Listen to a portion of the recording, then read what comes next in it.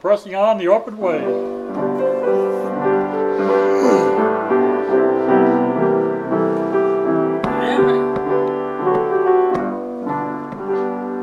I'm pressing on the upward way, new heights I'm gaining every day. So praying as I'm onward bound, Lord, plant my feet on higher ground. Lord, lift me up and let me stand, my faith on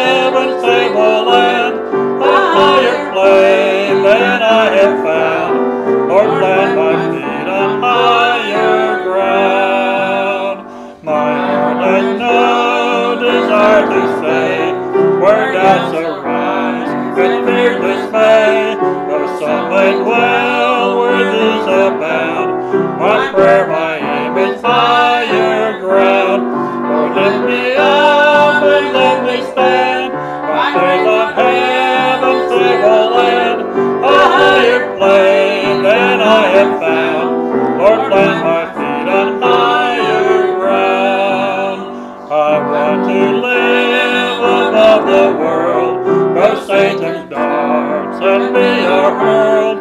For faith has taught the joyful sound, the song of saints on higher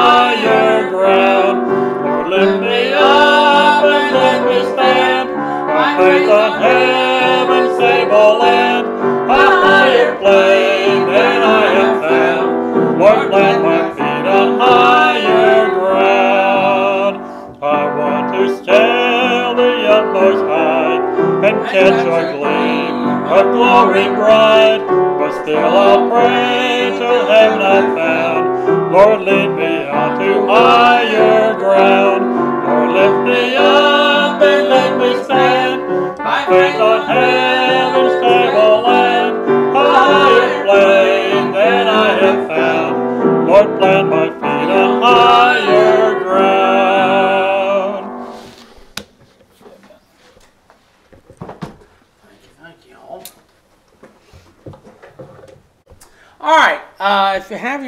tonight, let's look at Exodus chapter 40. Exodus chapter 40.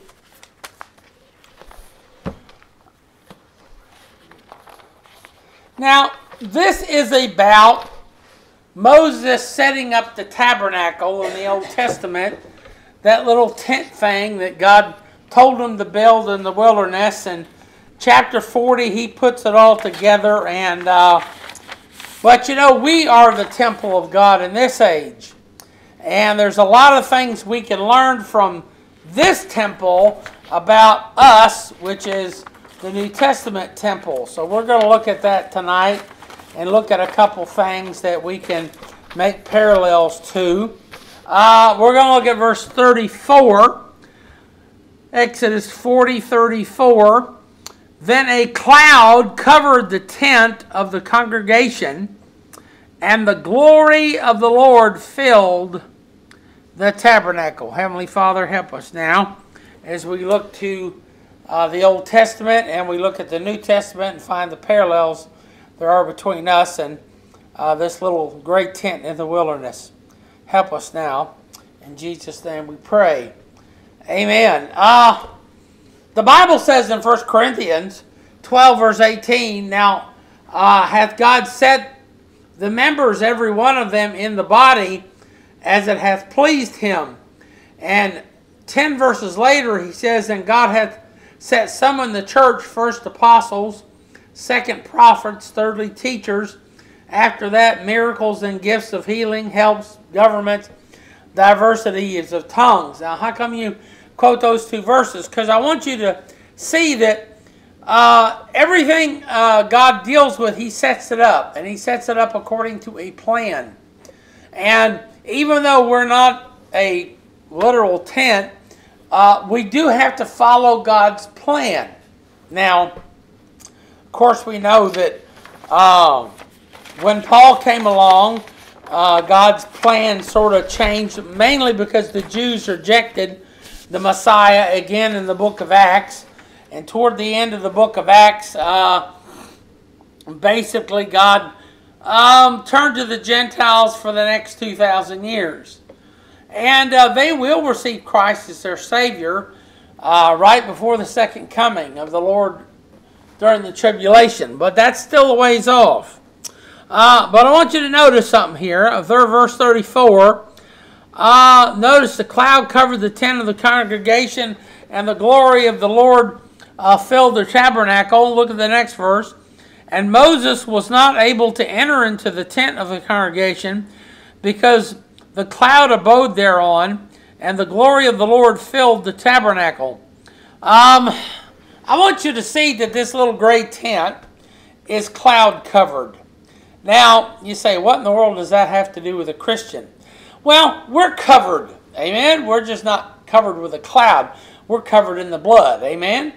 Um, Leviticus 8:15 talks about uh, Moses and this uh, uh, blood covering that that had to do with this tabernacle.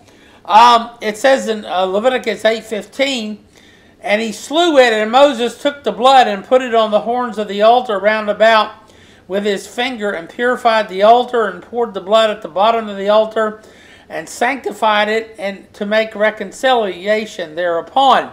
Um, look, God deals with the blood. And, and, of course, this is just one verse out of a whole bunch of them. Uh, God sprinkled the whole thing with oil and the blood and, and sanctified this thing in the Old Testament way. When we get saved, we get washed in the blood, and the Holy Spirit of God comes and dwells in us. And we're covered with God inside anyway. Our flesh isn't. I mean, we have to control it. Um, but uh, like the tabernacle of old, the reason Moses did all this stuff, well, is because they wanted God to have glory. And, and that was the way to have glory was to uh, follow God's instructions. Uh, even in the Old Testament, it was still about God's glory. Leviticus uh, 10.3, And Moses said unto Aaron, This is it that the Lord spake, saying, I will be sanctified in them that come nigh me, and before all the people will I be glorified. And Aaron held his peace. So God says, look, as long as you're using this whole thing and everybody comes here, you're going to do it because you're going to glorify me. I'm going to wash away your sins. I'm going to put you in a place where you can serve me. Uh, Charles Haddon Spurgeon said this. He says, I learned when I was a boy that the chief end of man was to glorify God and enjoy Him forever. Now, he said that's what he learned when he was a, a boy coming up in church. Now, this is, a, this is at the end of the 1800s now. He says, Now I hear, according to the new theology, and that's about when it came along, that the chief end of God is to glorify man and enjoy Him forever. This is a turning of things upside down. And that's what happened to the Bible. That's what happened to the churches. They decided, well, it's not all for God's glory. Uh, I, God's doing it for man's glory, so He can look. Uh, the fact that we get to go to heaven and enjoy God is kind of a uh, just just a side benefit of what God's plan is. We we're we're lucky enough to live at the right time at the right place and believe the right thing to get in on it. Um, in the Old Testament in the New Testament, people had to cooperate in the processes that God had to enjoy God's blessings. Now, in the New Testament, we have to cooperate with the plan of salvation. If we don't, we're not going to go to heaven. And even as a Christian, we have to please God and cooperate in His will for our life. Um, 2 Timothy 2.21 says, If a man therefore purge himself from these, he shall be a vessel unto honor, sanctified, and meet for the master's use, and prepared unto every good work. So God, he said, look, uh, God wants you to get rid of all the things that you need to get rid of, and if you do that, He can take and He can come down and He can use you to do something, and you're going to be happy with it. God's going to be happy with it. Everybody's going to be happy with it, except people who hate God. Um, 1 Timothy 4 5 says, For it is sanctified by the word of God and prayer. Now, of course, that's all about eating, but I'd say anything is sanctified by the Word of God and prayer. That's why I get in the car and I pray before I start start off down the road. Uh, that's why I sit at my desk every morning and I pray and I read my Bible before starting the day. I want God to bless that day. I want God to take care of me. And I know to do that, I've got to involve prayer and the Word of God. Uh, notice that this um, tent was uh, covered, and it uh, not only was it uh, uh, covered uh, with with this cloud, but it was covered with the glory of God and filled with the glory of God. Um, we should want to be filled with the glory of God. Amen. Um, our sins do need covering. Um, you know, we can, people say, well, you know, I, I don't do as bad as that fellow over there. Uh, God's not going to judge you according to some fellow over there.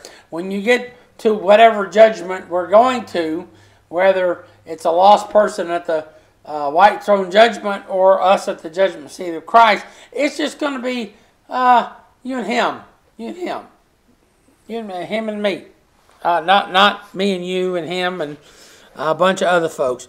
Uh, Romans four uh, makes this very plain.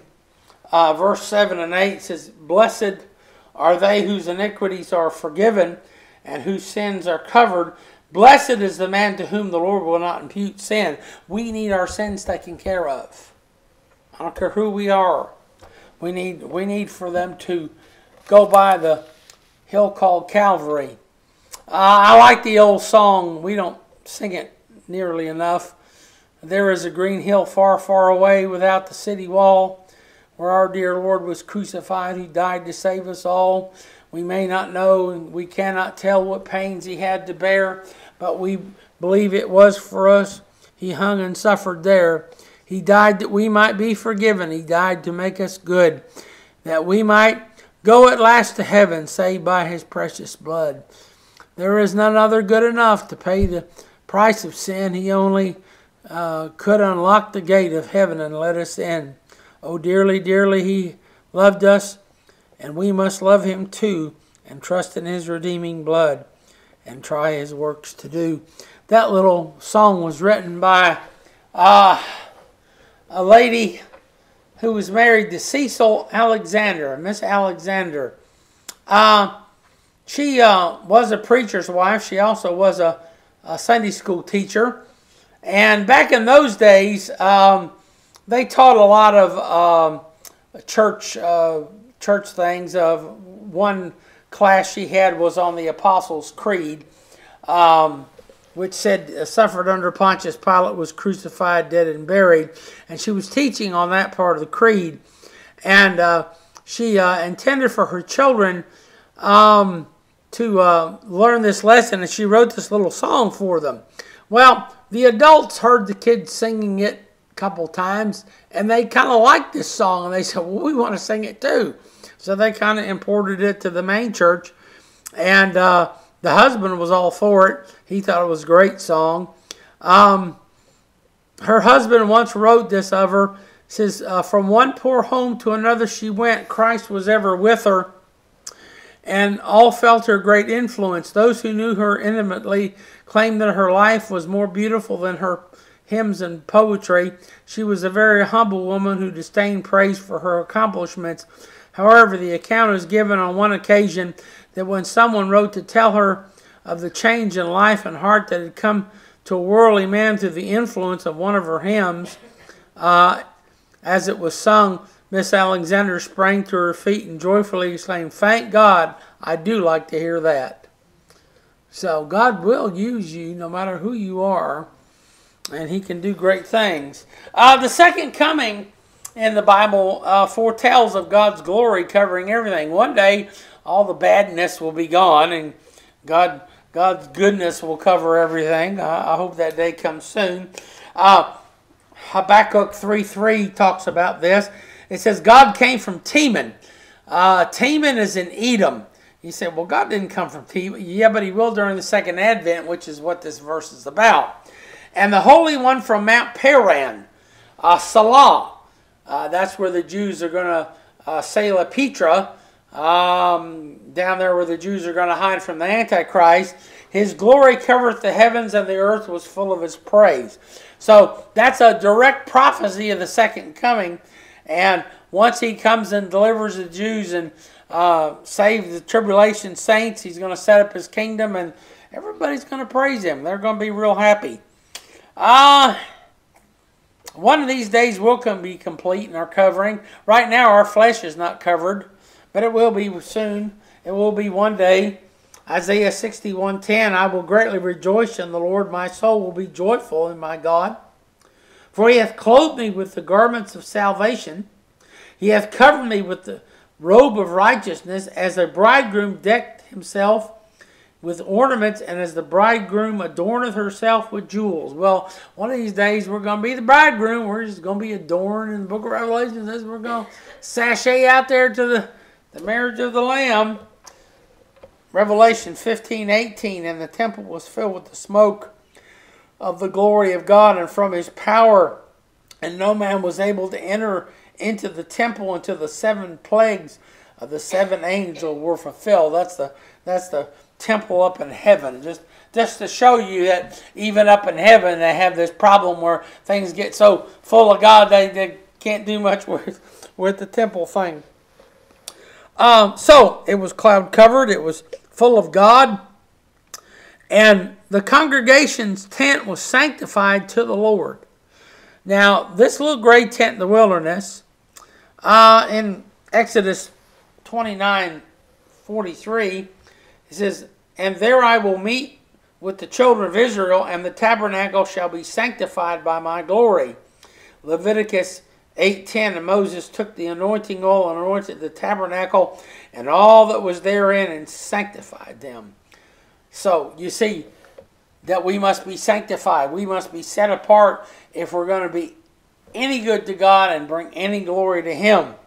Psalm 4 3 uh, but I know that the Lord has set apart, see, that's what sanctify means, him that is godly for himself. The Lord will hear when I call unto him. You want God to hear your prayers? Well, get sanctified. I'll hear them. Revelation 3 8 I know thy works. Behold, I have set before thee an open door, no man can shut it, for thou hast a little strength and hast kept my word and hast not, not denied my name. That's talking about the Church of Philadelphia. Uh, we're in the age of Laodicea, but there are still a few churches of Philadelphia around. I hope ours is one of them. Uh, I can always hope. Uh, a certain uh, prophet thought to render God a special service. And to do this, he believed it necessary to journey to Mount Sinai, for there he might hear God's voice and learn the secret of holiness. Uh, after a long toil, he reached the mountain and waited in vain for the special vision of God. One day he found a bed of moss and violets. Then he remembered at home his little child had brought home something from out of the garden around the house, some moss and violets, and wanted to give it to him, but he was too busy getting ready to go to Mount Sinai. And he thought about this and God kind of touched his heart that he could have stayed home and got the same blessing that he did on Mount Sinai. Well, you see, it, it don't matter where you are, it, it matters uh, who you're connected with and who, who you're fellowshipping with. Amen? God does expect us to do our best, even, even though we're saved. Uh, Hebrews 12 1, Wherefore, seeing we also are compassed about with so great a cloud of witnesses. Let us lay aside every weight and the sin which does so easily beset us, and let us run with patience the race that is set before us. In conclusion, the Bible says some more things about the temple of God in this age, and there's a dire warning about our temple 1 Corinthians 3 16 and 17 says, Know ye not that ye are the temple of God, and that the Spirit of God dwelleth in you? If any man defile the temple of God, him shall God destroy. For the temple of God is holy, which temple ye are. So, even though we're not a little great tent in the wilderness, and this is just a church where people meet, and it's just a building, and there's nothing holy, uh, particularly about our walls and our ceiling and stuff. Uh, we are a different story. God wants us to be His holy temple, and that means we have to make this thing behave here. And what's inside, we need to make sure it's dedicated every day to the Lord Jesus Christ. And so we can please Him. Heavenly Father, help us as we uh, say our prayers and go our ways. Uh, Lord, uh, thank you that uh, uh, folks is uh, out of town. I, I pray that they got there safe and they're feeling better. I pray you help our Uncle Charlie tomorrow. He's having surgery. And I pray you be with him. Um, he said he probably wouldn't be here tonight. He's getting to bed early so he can get up and get out to the doctors and have this surgery. Um, so I pray you be with him and his wife and his family uh, while this is going on. And Lord, uh, help us Sunday as we come back and, and have worship service. And I pray you that the rest of this week will, uh, God, be filled with your glory and please you with what we do. In Jesus' name we pray. Amen. Is there anything we need to bring to the Lord in prayer this week?